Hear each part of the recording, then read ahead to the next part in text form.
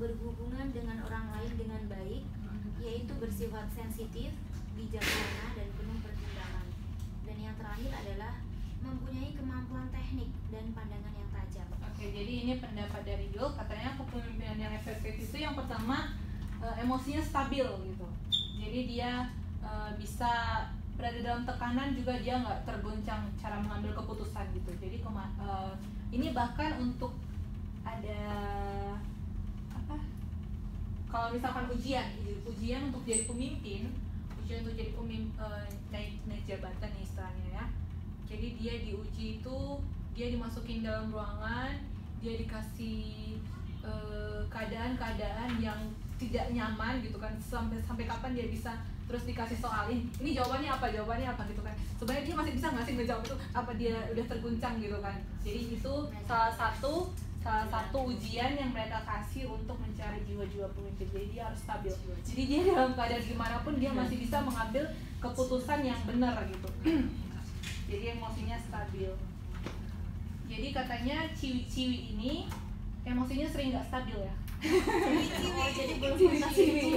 ya ini salah satu yang orang-orang bilang kalau yang cocok jadi pemimpin itu cowok. Karena cewek itu emosinya nggak stabil katanya suka mut-mutan suka oh ya ada lagi bulan-bulanan yang suka ngomong-ngomong nggak jelas. Nah itu salah satu uh, orang-orang bilang yang lebih stabil itu cowok untuk jadi pemimpin. Padahal enggak ya? Enggak kan? juga sih, Enggak enggak. kan? yang kamu pasti tahu kan stabil Oh. emosinya stabil ya mas? Oke mantap mantap ya nggak main ah Oke, yang selanjutnya katanya pemimpin itu harus mampu bertahan katanya walaupun mengalami kegagalan karena dalam eh, dalam perusahaan itu banyak hal-hal yang tidak semuanya berjalan dengan mulus. Dalam bisnis juga, dalam usaha tidak semuanya terus berhasil terus berhasil gitu ya. Jadi bakal banyak kegagalan, bakal banyak tantangan, tapi kalau pemimpin itu harus tetap bertahan gitu, nggak boleh down, nggak bisa gila, jangan gila sendiri gitu. Nanti karyawannya ke mana gitu. Jadi pemimpin itu pemimpin yang efektif kata Yulum itu dia harus mampu bertahan. Jangan menyalahkan orang lain. Jadi kalau kalian punya teman yang suka sikit-sikit nyalain orang lain, sikit-sikit nyalain orang lain, nah itu ini nggak ada jiwa pemimpinnya nih anak gitu. Pernah nggak bos yang eh, ada apa eh, barang yang rusak gitu, eh ada mesin yang rusak. Ini makanya kamu matanya gimana sih gitu kan. Padahal emang barang eh, mesinnya udah tua gitu ya, emang rusak sendiri harus diganti. Padahal dia nyalain karyawan yang yang ada di bagian itu gitu kan. Nah itu bukan ciri-ciri pe- pemimpin. Jadi dia eh, memperbaiki kesalahan yang dibuat tanpa menyalahkan orang lain. Ya udah diganti mesinnya karena memang mesin itu sudah tua. Jadi lebih biar lebih produktif ya diganti dengan mesin yang baru. Jangan disalahin karyawannya gitu ya.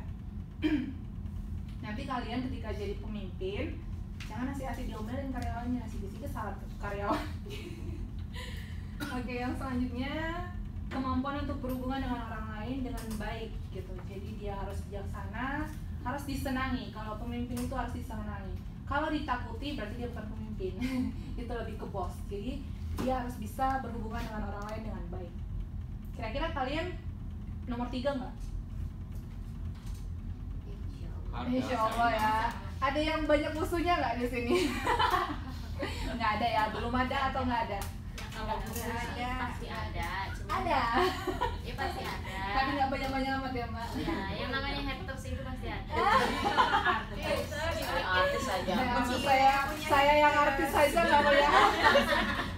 yang punya haters Oke, yang selanjutnya mempunyai kemampuan teknik dan pandangan yang tajam. Pandangan tajam ini kayak ke untuk ini pengambilan tujuan, punya visi, punya misi gitu. Jadi dia ke depannya itu mau mencapai apa dia harus punya pandangan yang tajam kira-kira gitu.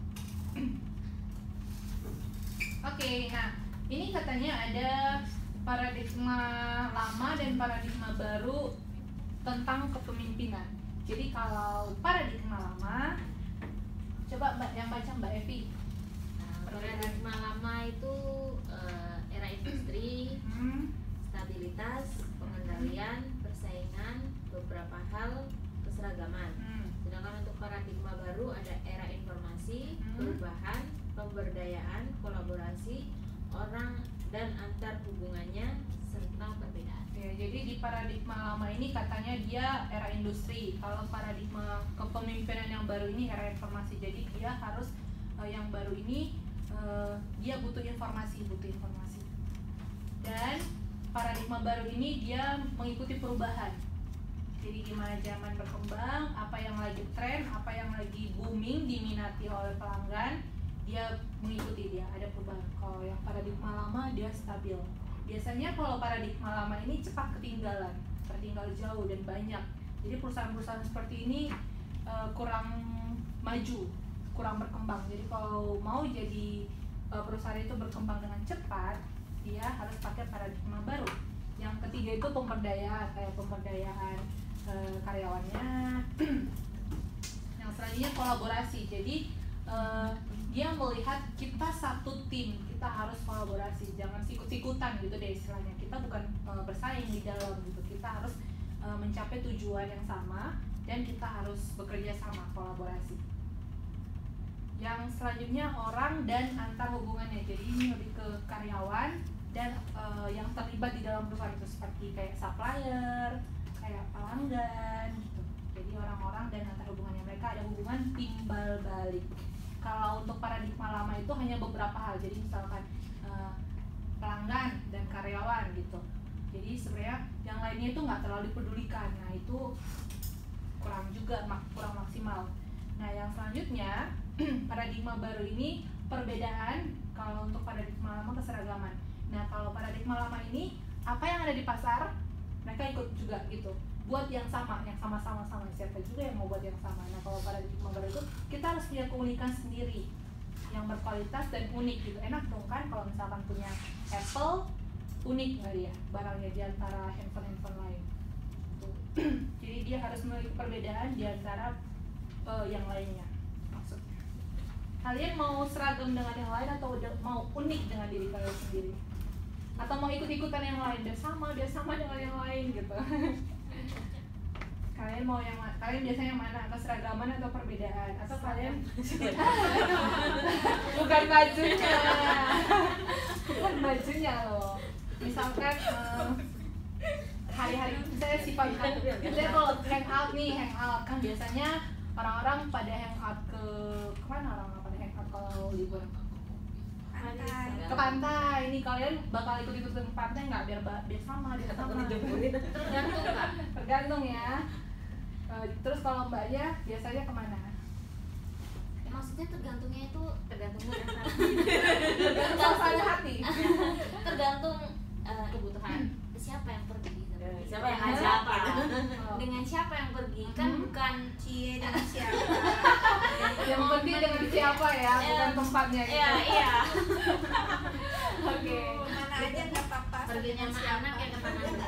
Nih Iya, jadi kalau misalkan pemimpin yang paradigma baru, dia memiliki keunikan-keunikan gitu. Dia nggak mau sama sama yang lainnya. Jadi kalau keunikan kita biasanya pelanggan, oh ini unik deh gitu, nggak nggak sama dengan produk lainnya. Jadi orang lebih memilih. Gitu. Oke, sampai di sini tidak ada pertanyaan? Masih belum. Masih ya.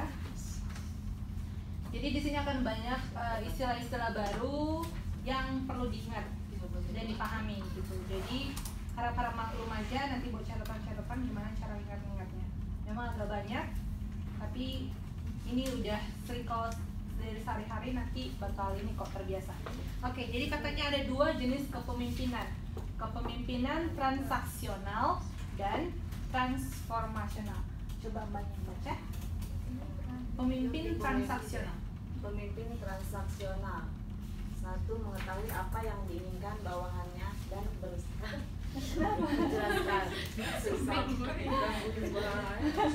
yang kedua memberikan atau menukar usaha-usaha yang dilakukan anggota dengan imbalan yang ketiga yang ketiga responsif. Gak sopan. Yang ketiga responsif terhadap kepentingan pribadi. Bawahannya selama kepentingan pribadi itu sepadan dengan nilai pekerjaan. Oke jadi uh, ingat aja ya yang namanya transaksi. Biasanya kalau transaksi itu apa aja sih yang kita transaksikan? Pasti ada uang-uangnya dan hal lain gitu ya. Jadi ada transaksi di situ. Ingat aja kalau pemimpin yang transaksional itu dia yang ini. Nomor dua ini. Lebih ke memberikan imbalan. Jadi kalau misalkan eh, dia lihat karyawannya bekerja dengan bagus dia kasih bonus. Nah lebih ke imbalan. Imbalan nah jadi katanya eh, kalau lebih sering dengan menemukan pemimpin yang transaksional ini biasanya muridnya itu memang semakin termotivasi untuk mendapatkan eh, imbalan. Tapi jadi eh, ini ya eh, tujuannya nggak bener gitu. Oh dia kan kerjanya bagus hanya karena mau dapat bonus lebih banyak gaji yang lebih banyak gitu. Nah yang selanjutnya ada yang katanya pemimpin transformasi coba lanjut dari mas yang transformasi tinggal baca PPT aja tinggal hmm, nyari baca PPT aja mas Ada mbak ini kelihatan. nggak kelihatan. Satu mendorong dan meningkatkan, maaf mbak, ya ya ya oke silakan. Meningkatkan kesadaran dan menunjukkan cara untuk mencapainya. Dua, mendorong pengikut untuk